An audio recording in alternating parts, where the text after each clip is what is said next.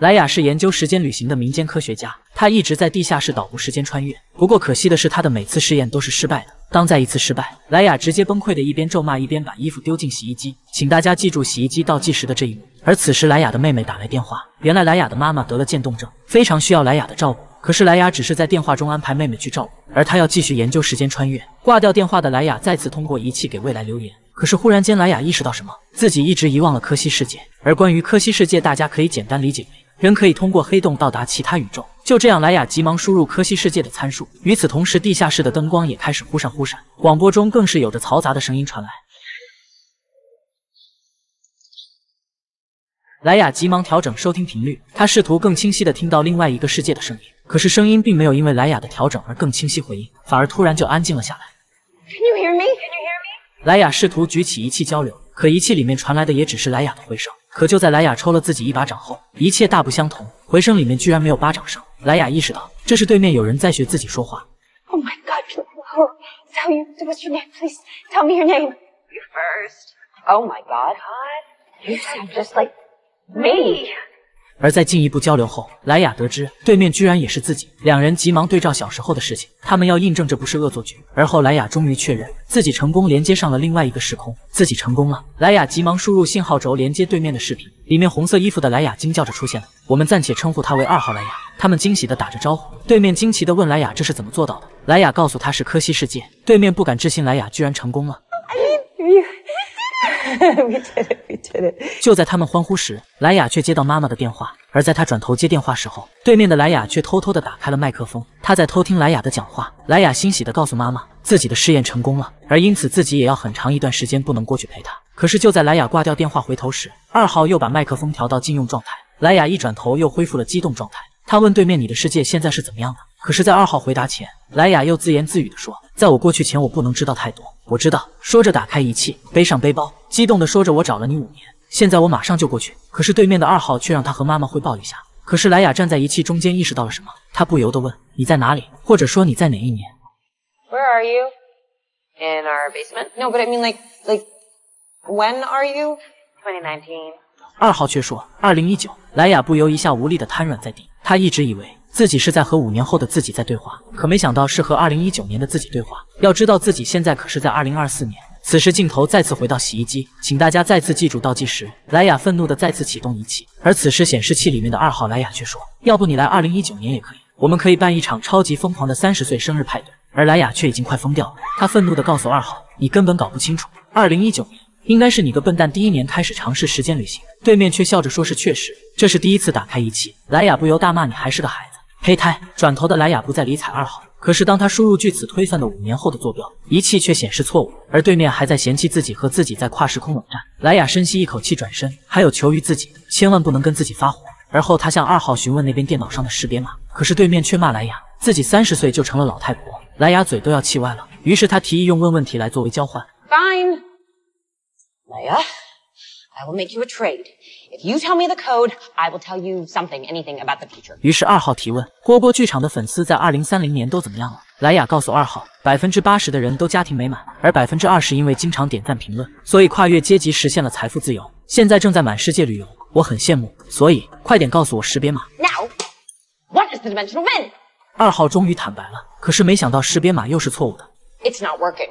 That's weird. 莱雅不由生气的再次接上仪器。他要按照自己推断的二号的数值再次反向推导，而二号发现了却连忙阻拦。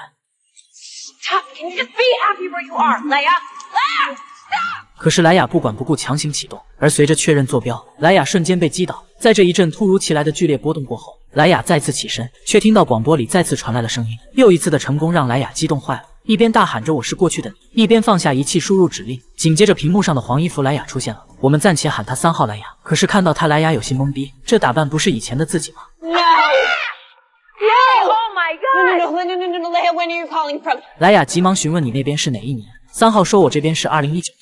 莱雅震惊了，这不对啊，刚才就是二零一九年的自己，怎么又跳出来一个二零一九年的自己？可是莱雅随即意识到什么，看向二号，而二号此时也坦白了。随着他脱掉外套，露出里面的装扮，莱雅明白这就是未来的自己，因为自己曾经从不穿这些。可是莱雅还是很懵，为什么未来的自己要阻拦自己？二号莱雅解释，未来我们很有钱，而显得年轻是因为有钱做美容。莱雅可不是听这些的。Just focus, please. 莱雅 Yes. Only future, Leia. 他打断三号的自己的话，问二号：“把坐标告诉我，我要去未来。”可是二号也愤怒了：“为什么你一定要过来？告诉我原因。”莱雅说：“我要成为第一个前往未来的人，我要成为开拓者。”可是二号却说：“你在胡扯。”说真实原因。莱雅说：“不要让三号知道，一旦告诉他就成定局了。”二号却轻蔑一笑说：“别再耍把戏了，我要听实话。”莱雅此时情绪却绷不住了，于是坦白：“我想去未来寻找治愈方法，妈妈的病，渐冻症。”接着告诉三号说：“就在你的时间线几个月后，妈妈生病了，而后你会因此辍学。”和男朋友分手，你日夜的照顾妈妈，日日夜夜，可是病情越来越重。一时间，莱雅泣不成声。而后她质问二号：“你满意了吗？”可是二号反问：“你凭什么认为五年后可以治愈？为什么不去五十年、一百年以后？”莱雅一时间无言以对。二号一句接一句逼问：“到底为什么你想穿越时空？”说实话，一句一句的逼问让莱雅再也绷不住，她愤怒的大吼：“Because I need her to be gone. Because I need it to be finished. Okay?” 一瞬间，二号和三号都沉默了。莱雅接着说：“因为医生说妈妈还能活五年。”而这五年太痛苦了，我日日夜夜看着她受折磨，因为太爱她了，所以我想结束这种生活，我想让妈妈成为过去，这样我才有未来，这就是真相。而此时的洗衣机倒计时也即将到点，二号却说你要接受现实，不能改变它。可是莱雅摇头拒绝了。看着莱雅再次走到仪器前要做什么，二号有些着急了。他说：“我跳跃时空，因此拿到了诺贝尔奖，甚至登上了《时代》杂志，拿到了一辈子花不完的钱。可是这一切有什么用？如果你走了，会像我一样永远怀着沉重的负罪感。等你明白，可能就晚了。”二号莱雅再也止不住眼泪。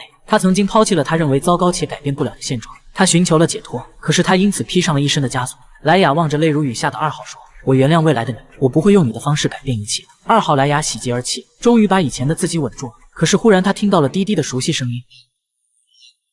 What's that? I didn't touch anything. 莱雅却接着说：“我坚持我的选择。”而后直接走到三号面前说：“空间识别码是四点五五一四，把空间识别码输入你的电脑，去往尽可能遥远的未来，直到找到治愈妈妈的方法。”而此刻的二号莱雅急忙阻拦，他让莱雅好好想想蝴蝶效应。可是莱雅不为所动，他要求过去的自己在自己的时间线拯救妈妈。可是二号说：“如果改变过去的时间线，其他的时间线将全部终结，我们都将不复存在。”可是莱雅毫不在乎地继续交代注意事项。